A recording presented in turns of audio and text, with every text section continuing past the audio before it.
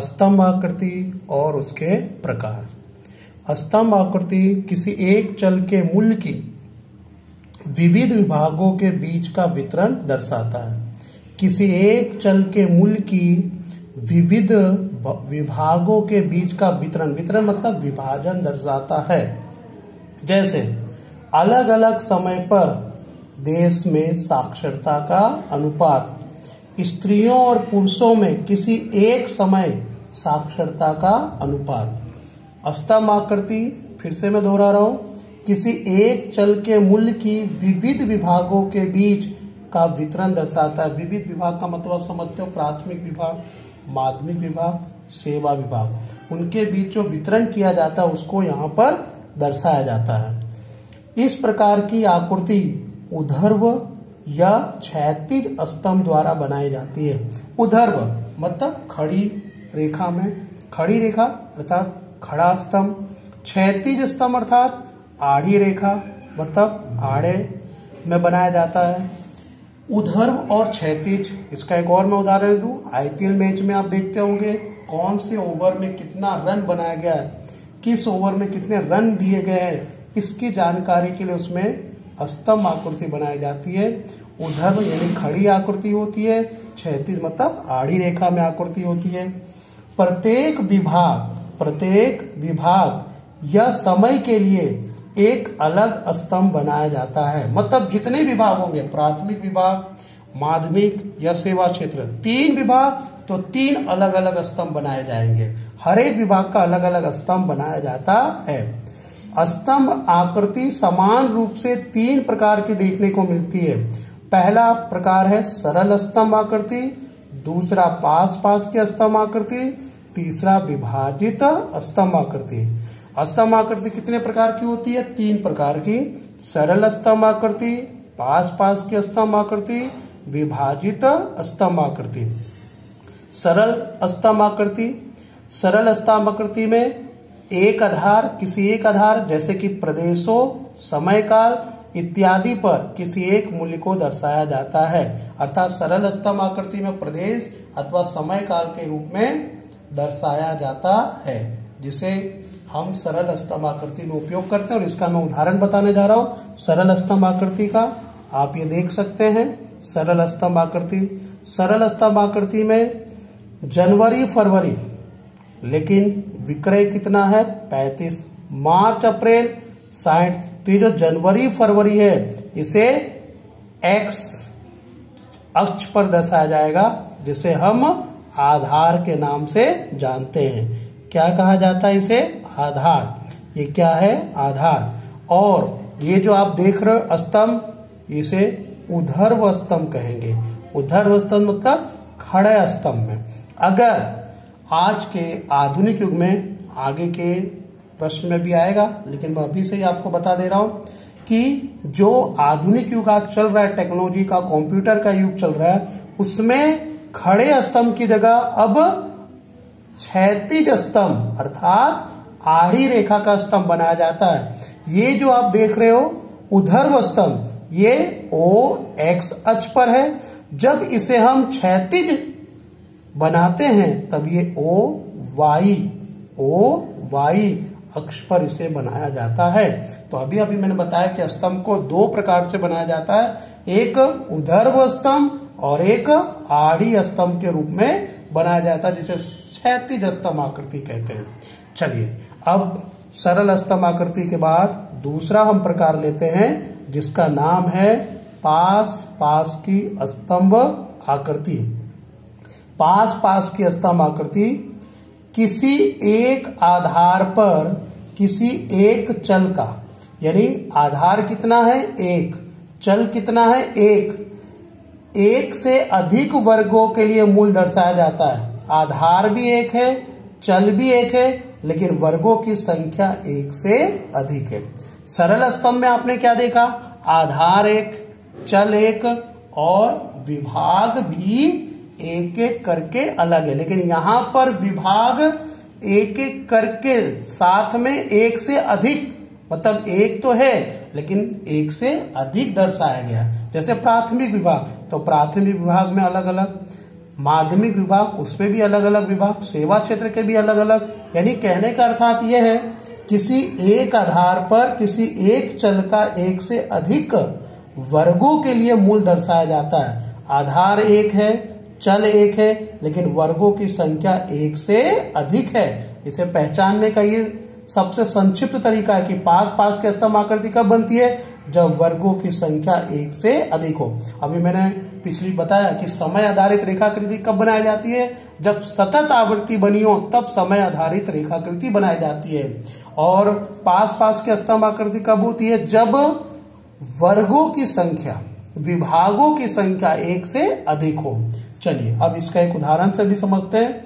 मान लो कि समय काल एक आधार है, साक्षरता एक चल है, लेकिन उसमें स्त्री और पुरुष, ऐसे कितने वर्ग आ गए? दो। तो यही आपको मैंने अभी परिभाषा में बताया कि आधार एक हो, चल एक हो, लेकिन वर्गों की संख्या एक से अधिक हो, तब पास पास की स्तंभ आकृति बनाई जाती है। चलिए, इसका भी मैं उदाहरण देकर समझा रहा हूँ। आप नीचे तालिका देख सकते हैं। तालिका में दिया गया है साफ़ साफ़ आप देखिए यहाँ पर तालिका।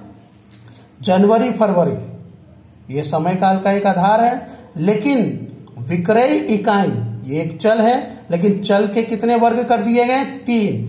छोटे बॉक्स का विक्रय, मध्यम बॉक्स का विक्रय, बड़े बॉक्स का विक्रय। यानी वर्गों की संख्या को एक से अधिक बार बना दिया गया। तो अब मैं इसका एक उदाहरण दे रहा हूँ कि इसका कैसे आकृति बनाई जाएगी, उसे आप देख सकते हैं। तो ये आपके स्क्रीन पर ये आकृति आ रही है, किस तरह से इसे बनाया गया है।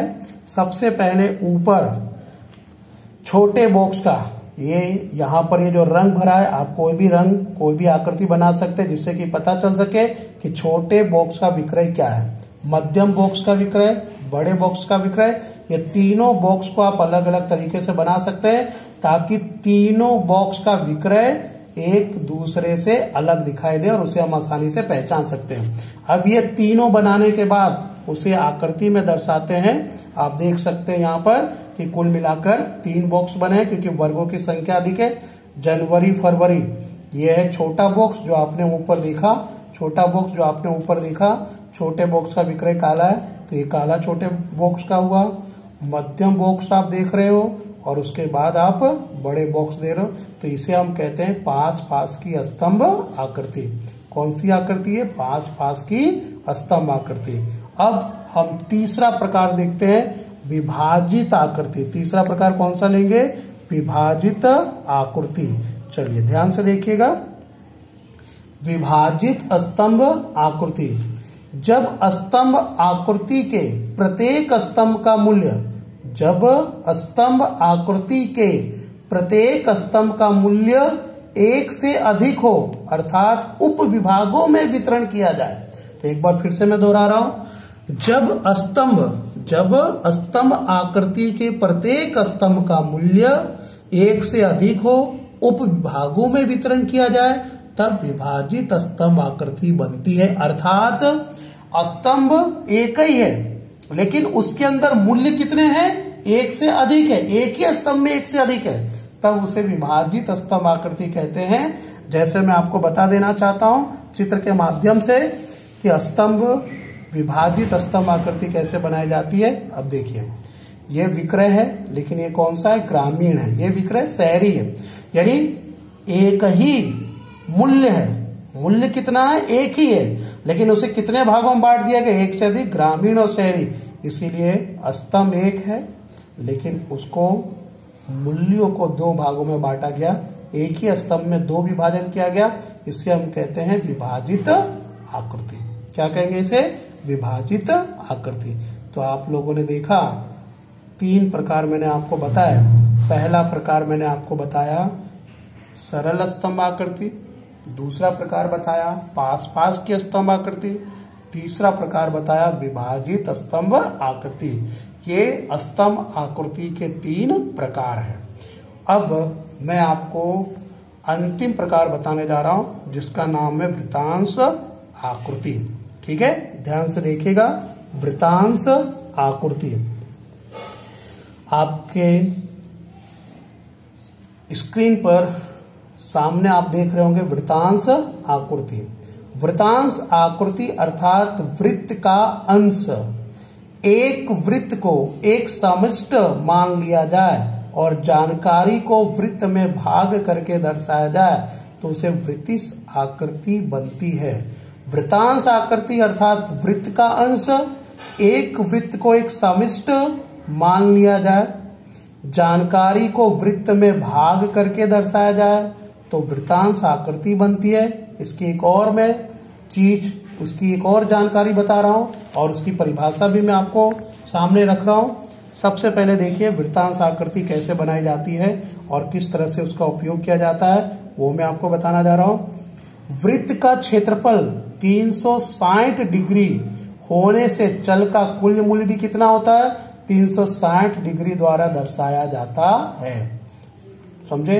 ये ग्यारहवीं क्लास में जब आप वृत्तांश आकृति बनाते थे, तब आपको जैसे नौवीं, दसवीं, इन दो क्लासों में आपने उपयोग किया होगा, जिसे हम लोग अपनी सामान्य भाषा में चांदा कहते थे।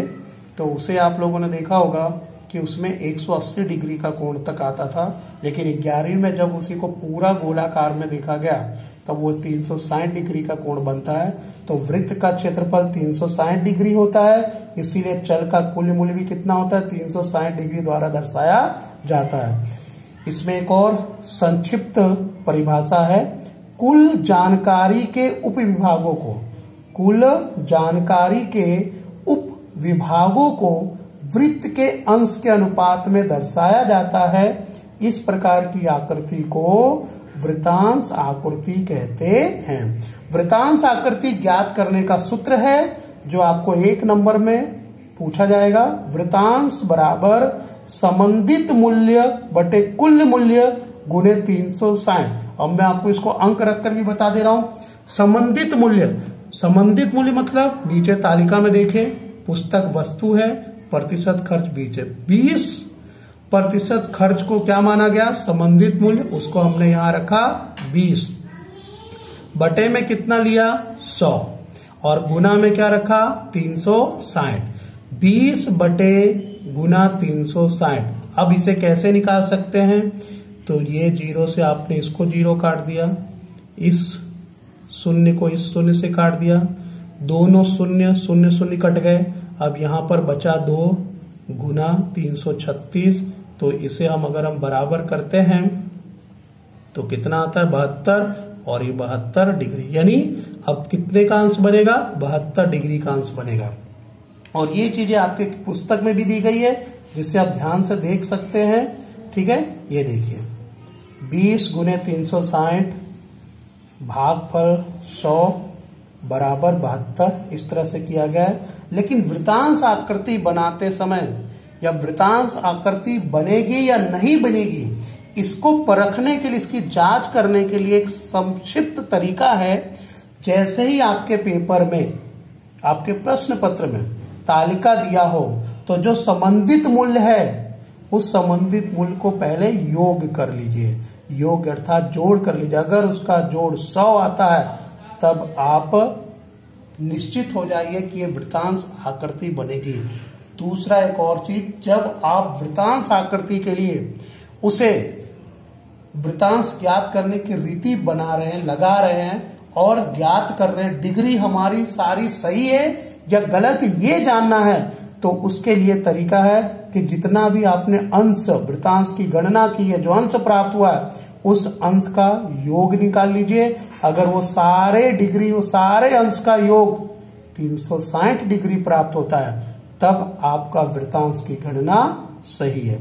इस तरह से हम पता लगा सकते हैं, जाँच कर सकते हैं कि हमारी जो वृतांश की गणना है वो सही है या गलत है। और एक और मैं जानकारी दे रहा हूँ कि वृतांश आकृति जब बनाते तो सबसे पहले एक गोलाकार वृत्त बनाइए और उसे बीच में से विभाजित कीजिए, जहाँ पर आपको वो चांदा रखना होता है। और उस चांदे को रखने के बाद जितना वृतांश गणना की डिग्री आई है उतने डिग्री का आप कोण बनाते चले जाइए, ठीक है? और अगर जानकारी हमारे पास एक से अधिक होती, जैसे आप देख रहे हैं, वस्तुएँ, पुस्तक, स्टेशनरी, फ़ोन, कंप्यूटर, नाश्ता, कपड़ा इत्यादि दिया है तो उन सबको दर्शाने के लिए, जैसा आपको मैंने पिछले भी बताया ग्राफ में, कि अलग अलग संकेत के द्वारा आप उसे दर्शा सकते हैं। तो ये आपको मैंने बताया इस वीडियो में। आकृति, पहले आकृति बताए समय आधारित रेखाकृति, दूसरा बताया स्तंभ आधारित आकृति स्तंभ आधारित आकृति के तीन प्रकार, सरल स्तंभ आकृति, पास पास की स्तंभ आकृति, विभाजित स्तंभ आकृति।